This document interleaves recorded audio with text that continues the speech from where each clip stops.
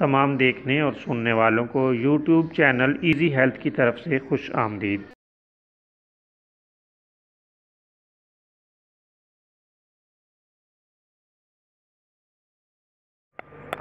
दोस्तों, आज हम आपकी खिदमत में नाखूना का एक नुस्खा पेश करेंगे।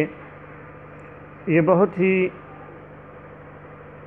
भयानक मर्ज़ है।